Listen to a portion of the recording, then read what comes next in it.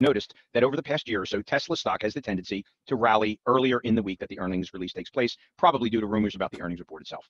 So let's take a look at the weeks leading up to Tesla's first quarter earnings release, which was scheduled for after the market closed on April 29th.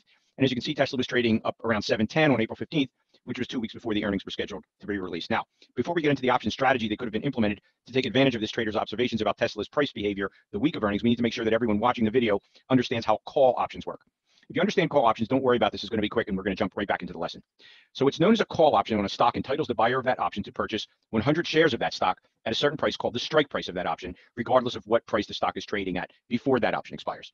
The buyer of a call option pays what's called a premium to the seller of the option because the seller of the option is taking the risk that the stock will go past the strike price of the option, in which case the buyer can exercise his option. But if the stock on the expiration of the option of the option is not beyond the strike price of the option, then the seller just pockets the premium that he was given by the buyer he walks away completely free of any obligations. The option, in other words, expires worthless because it was never triggered. So let's say hypothetically that XYZ stock is trading at 100. So let's say that there's an option chain 30 days out from today for XYZ, and we find that the option to buy XYZ for $105 in 30 days costs 80 cents then that option would cost the buyer $80 because it represents the right to buy 100 shares of XYZ. And so you need to pay 100 times 80 cents to buy the option, which is $80. Now, moving out 30 days, if XYZ stock closes on the day the option expires at 105 or less, the option expires worthless and the seller of the option just pockets the $80 and the buyer of that option just loses $80 on the transaction. However, if the stock trades up to say 107, then the seller is required to the, to the buyer to sell his shares of XYZ company for $105, even though they're trading at 107. So in that case, the buyer would make a profit from having bought the call because he paid $2 less per share for a stock than it's actually worth. And he paid 80 cents for that option. So he made money on that one. So those are the basic workings of a call option. So let's take a look at a possible options trade on Tesla that I think you're going to find interesting. So let's say on that day you looked up the options chain that expires on April 24th, the week before earnings, and at the same time you looked at the option chain for May 1, which is the option chain that expires right after earnings. So options on April 24th on that chain will expire before earnings, and the May 1 one chain that will be alive and exposed to the price movement of the earnings release on April 29th when Tesla re- reports its earnings. So if on that day we went ahead and sold two of the April 29th 730 calls and bought two of those 800 May 1st calls, then what that trader has entered into is known as a diagonal call spread to options income traders. Now, in a minute, we're going to teach you how this trade works and why we structured it this way. I wanted to let you know that sign up now and don't miss it. Let's now break down what's happened here from a cash flow standpoint. So we'll see how this trade starts out and why the cash flow is so important in this case. So as you can see, we sold the 730 April calls for $40.62. And remember, each option represents 100 shares of stock. So we multiply that by 100 and we sold two of those. So when you do the math, you see that we received $8,124 for selling those two calls. And as for the two long calls up on May 1, well, those have a cost of 39.24 a piece, which again, if you do the math, comes out to a cost of 78.48. So as you can see, this transaction creates positive cash flow for your account. Now, keep in mind that your broker will require you to have a balance of at least 13,724 for this trade because of the risks involved. Keep this capital requirement in mind because we'll be coming back to that a little bit later. Now, this positive cash flow will become important, as you will see in a minute, because now we're going to move forward to the day that those April 24th Tesla 730 call options expire. And you can see that Tesla rallied slightly from the day we put them on, but we gave some room for that. So as we sold those calls at 730, while Tesla was trading at 710 on the day we opened this trade. And so with Tesla, as you can see, closing at 725 on April 24th, those call options are worthless and expire with zero value, as we talked about. After all, who would exercise an option to buy 100 shares at 730 when you could go out into the open market and buy them for 725, five points lower? And so those options obviously expire worthless. And that original cash that you received, you just pocket that. So let's think about the enviable situation that we're in now in this trade.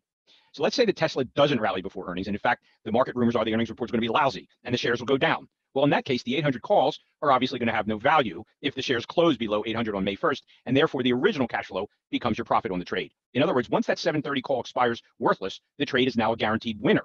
Of course, you'd like your prediction to come true, but it's nice to know that you're now in a risk-free trade and only have upside should the 800 calls indeed increase in value. In fact, options income traders depict their trades in risk graphs, just like this one. And as you can see, the cash flow we received on the trade creates a floor of $276 on the trade, and the surviving 800 call, which is still alive until May 1st, that provides upside potential to the trade in the event that Tesla rallies up to or after earnings. Okay, now let's move forward to April 27th, two days before expiration, and you can see that Tesla has indeed experienced a huge rally. And as a result, the 800 call is now pushed up in value to $50.35 from the original 39.24 that we paid for it. So now let's analyze where we are from a profit and cash flow perspective on this trade if we chose to close it at this point, which we most likely would have. And as you can see, we get to pocket that original 8,124 from the two 710 calls we sold. And, you know, because those expired worthless. And we also cashed in the 800 calls that are still alive just, just now. We cashed them in for over $10,000.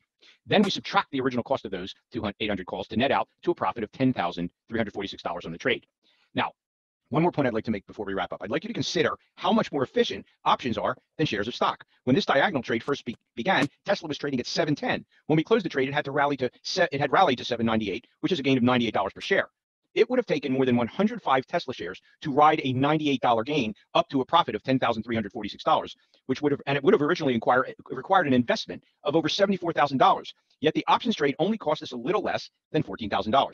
And so there's that much less risk in the options trade, as well as that much less capital required, making it an easy choice as to which direction to go in many cases. So the key takeaway from today's video is that options allow you to get into. We are thinking about trading setups. We are thinking about trading setups that we place in our playbook. Our playbook is our trading business. So we're not sitting around thinking about whether or not General Motors should be higher or lower. We're not sitting around thinking about whether Apple shouldn't have sold off as much as it has recently or should be higher. We're not thinking around sitting around thinking about whether or not Facebook uh, has more downside risk because of government regulation from its present point. We're not sitting around predicting whether or not the market's going to go up or down, whether SPYs, Qs, IWM, Google, Amazon, Netflix are going to go up or down. That's not what we're doing. We're sitting around looking for real good risk reward plays and trading setups. Setups in our playbook. These setups have a title. There's a strategy for how you trade them. There are variables that go into developing that strategy. There are variables necessary for a trade. You're archiving these setups for your playbook, so you get better at them. You're measuring them. You're keeping really good trading stats of each of these very specific types of trades. You're placing your best trades into your playbook. You're building from measured success for you. You're building from measured success for you. Take a pen out and write that down. That's your business. Your business is what you've measured that you have traded successfully, and you're going to do it more often and bigger. So here's an example of a trade strategy for a type of breaking news play. This is not every breaking news play. This is not me telling you this is the very way that you should trade a breaking news play.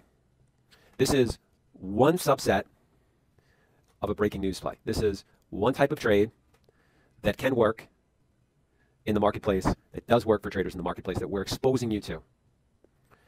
The variables of this particular trade, the variables that I'm looking for to make this particular trade are substantial news. Substantial news that's unexpected and not baked into the price. I want to be reacting quickly to the substantial and unexpected news.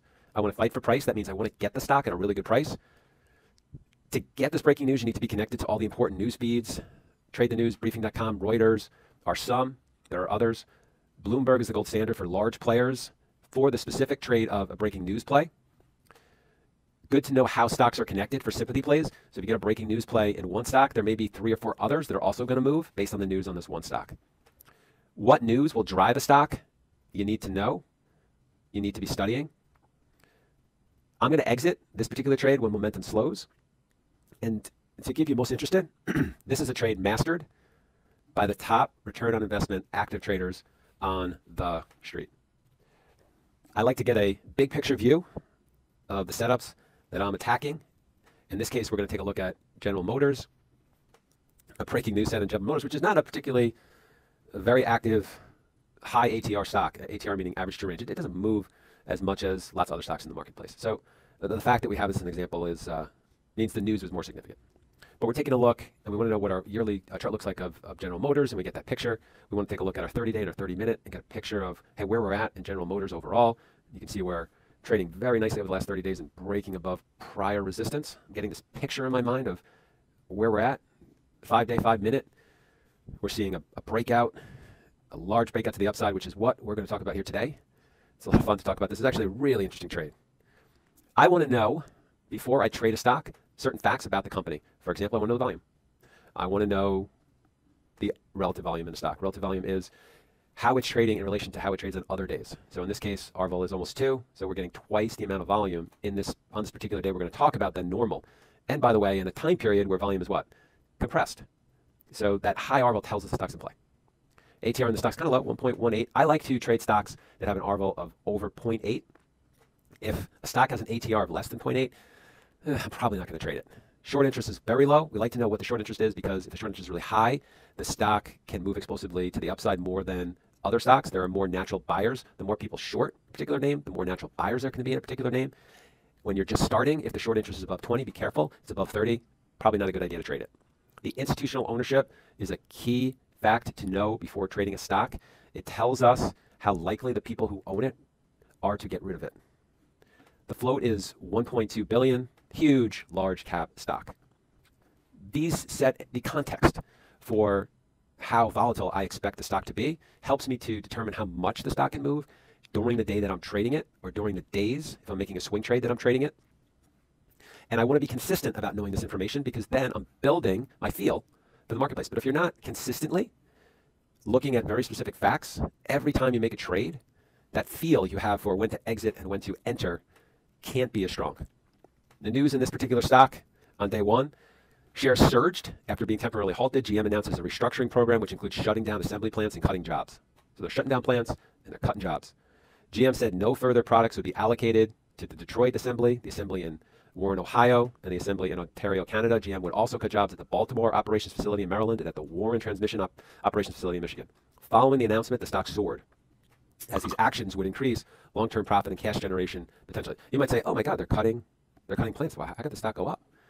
Shouldn't the stock go down? Aren't they signaling that their business practice, their their, their, business prospects going forward are lessened?" Well, the the street actually will view this temporarily at the beginning as them able to run their business more efficiently, them able to potentially cut some some fat, them able to be able to perhaps earn a larger margin on their business, and so it's a little counterintuitive for those of you who are uh, students of economics and they're saying, how could this stock go up? I, I understand your trepidation. We're students of what stocks do after news comes out, not how the market should judge the news. It's the patterns that follow after. So that day, uh, President Trump told the White, told White House reporters they spoke with GM's chief, saying that he was unhappy with the company's restructuring and expects GM to put something else in Ohio. Timestamp, 2:46 p.m. Day one, we get that factoid. We take a look at GM on day one, surges. Halted at 1019 to 1040 for pending news. The restructuring news is released, and GM has a 5.5% move to the upside. Big move in this large cap stock. And then the Trump comment that we hear at 246, get that 246, uh, came out, but on this day one, the market didn't react to that. We move into day two. How is GM going to trade? So, one of the challenges presently for active traders has been uh, the market creating a direction and then the market failing to follow through in that direction uh, based upon information that's coming out from the White House. So, uh, most, most, in most particular, the trade war between the U.S. and China has been causing the market to go up or down based on the news flow that's coming out of the White House. So the White House will say, yeah, it's really not that likely that we're going to cut a deal with China on trade. We're more likely to slap these tariffs, move forward in that vein, and the market generally has reacted negatively. And then the market will start to, you think, trend to the outside. Then all of a sudden, from the White House will come news that we're making progress with China. We've got talks lined up. Maybe Larry Kudlow will come out and do an interview and say, I like the progress we're making. We're making significant progress in our talks with China, and the market will rebound. And so you've had to stay real close to your news feeds. You have had to stay glued to the news that's coming out of the White House, which, if you're not a nimble trader, can can be a little bit uh, frustrating, particularly when you're in the money in a position and, and then new news comes out and, and it gets disrupted. So, on this particular day, on this day two, Trump comes out and says, very disappointed with General Motors and their CEO for closing plants in Ohio, Michigan, Maryland. Nothing being closed in Mexico and China. The USA General Motors, and this is the thanks that we get. We're now looking at cutting all GM subsidies, including for electric cars. General Motors made a big China bet years ago when they built plants there and in Mexico.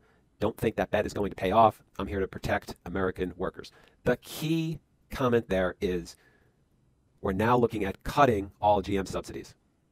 So GM now is in jeopardy of seeing less money coming to them from the government that had been anticipated. So this news was not baked into the price of GM yet. Uh, this news is significant. Remember, I want to think about trades as variable with, with variables in them. So I want substantial news. I want it to be unexpected. I don't want it to be baked into the price. And this is an example of a breaking news tweet that fits that variable, which I'm looking for to make a breaking news trade. I'm not sitting there saying, I predict that Trump is going to come out and speak negatively about GM for doing this. I'm not sitting there predicting that, oh, you know, GM uh, is your is your bet for uh, driverless cars. I want to be exposed to that. The market is going to use the sell off as an opportunity to buy more. Um, I'm not doing that. I'm not doing that. I am reacting to setups that have variables that I trade well. That make sense? So we'll talk about this and later in the day after Trump tweets and GM tweets. Again, this can be, you got to be close to the news feeds and it can be a little bit frustrating if when Trump tweets that they're thinking of cutting GM subsidies, you get short and you're looking to sort of hold that for a swing trade and you're in the money, you're in the money, you're in the money. And then GM comes out and tweets, We're committed to maintaining a strong manufacturing presence in the U.S. Many of the U.S. workers impacted by our actions will have the opportunity to support new growing areas. So GM's saying, Hey, uh, Mr. Trump, we're committed to the U.S. And it can be frustrating because well, that's, that's a counter tweet and meant to uh, appease uh, the president and any sort of backlash that, that he may ask uh, his players to uh, furnish on, on GM. So, how does that work in terms of trading? Good question. So at 206, Trump tweets his, his, his disappointment in GM on Twitter. That's a breaking news trade opportunity. And again, there's there, there's different trades here. So I'm going to talk about a fast trade. There are swing trades you can make with this. Perhaps we'll save that for another episode. And, and it's important that you're a swing trader, not talking about a swing trade, because really the, the big takeaway from this is how to think through trades like a professional trader and how to set up your trades with variables, specific variables, to make quality trades so that you can do that for yourself. That's the most important thing. So I'm talking about this one particular fast trade. And you know, so for this trade, I'm going to want to react quickly. I'm going to want to fight for price, and I'm going to want to be taking this off when the momentum is slowing. So I'm going to be reacting. You can see the arrow right here. I'm going to be setting my stop above here, or maybe above VWAP. All right, so I'm going to react because there's breaking news.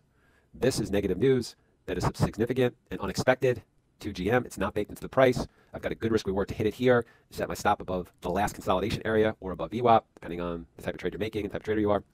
And then I want to I want to take it off when it starts to slow. So this is trade decision one, or certainly here, it's slowing down for more time. It's it's really not making lows. You get a double low right here. So this is it's not going down anymore. And so again, I want to go back to the variables you don't have to make every penny out of trade. You're making you're making trades that have variables. Substantial news, unexpected. I'm reacting quickly. I'm fighting for price. I'm exiting when the momentum slows. Connected to my news feeds. That's the trade that I'm making. You could call it anyway. It's a fast moving trade. There's certainly a swing trade you can make. You can swing it from here and look for a, a, a bigger down move, and then cover it here when this when this next news announcement comes out. You can certainly do that. But again, I'm focusing on the type of trade that's easiest for you guys to be making when you're developing and then what happens at 332? So we hit it, we cover it, we cover it, we're hanging out, we're doing something else, and then we get another tweet. We get a positive tweet. We get a positive tweet that's that's unexpected, that's significant. Again, we're making trades with variables, and we're getting the mirror image. News substantial, news that's unexpected and not baked into the price. I want to react quickly. Connected to all the news feeds, I exit when the momentum slows. So we have the mirror image of that in this potential setup. All right, so 332 GM comes out with its announcement. Bam, Okay, we buy it and we sell it into the into the up move. And this is a breaking news trade. There's going to be remember this is a large cap stock, and so this is a move of 80 cents here. That's a big move in GM. You know, the ATR is a dollar twenty. So if the ATR was higher, you would you would have gotten a, a, a larger dollar move. And then you know we, we get another mirror image tweet right here, and the stock goes up a good 50 cents which relative to our ATR is still a big move. Still a big move. Very strong trade to have in your playbook. The, the, the, the most successful, active traders who have the best return on investment employ the strategy. And so we, we see this we see this trade happen in lots of different sectors all the time. And I wanted to just give you exposure to it for you guys to be thinking about it and working on it. So what you learned today is one of the most effective trades by active traders on the street. This is a trade you can exploit daily it's a straight strategy to capitalize on these opportunities. So we don't want to just say I trade breaking news setups. We want to have our strategy mapped out with the variables that we're looking for and our strategy for trading it. We want to have that mapped out already. We want to do that for all of our trades. There are multiple ways to capture this opportunity. So look, admittedly, I chose a way to handle this trade that's best for new and developing traders. You could certainly take the principle of these trades and turn it into a swing trade. Now, you'd have different variables for it, and you'd have a different trade strategy for how you attacked it, and your win rate would be a little bit lower. But when you won, you'd make more money. And that's a that's a perfectly acceptable way to trade this opportunity for your playbook. How traders eh, can use a tweet to profit. And look, I, I know I'm getting a lot of emails in my inbox about traders who are frustrated with the market kind of going up and down based on news that's kind of coming out that they can't control. And you know, look, you could be frustrated by that, or you could see it as an opportunity. You could adjust how you're trading, shorten your time frame, and be more nimble, and be able to attack and take advantage of more opportunities. The, the market's not there to trade the way that you want it to trade. One of the more dangerous things that you can say as a trader is, well, the market isn't reacting the way that I need it to react. My strategy isn't working well in this type of market. Our job is to pull money out of markets in present market conditions. How we want the market to trade is not the way the market does trade. And I think uh, saying and expecting the market to react the way that you want it to is is, is uh, not going to produce the, the it's not going to produce the best mindset that you can have to be a consistent, large, sustaining trader. And I've seen a lot of guys who can make a lot of money in certain type of markets who can in others and have to go on and do other things. I want you guys to be large, seven-figure, sustaining, profitable traders with lots of different plays in your playbook to help you attack varying markets.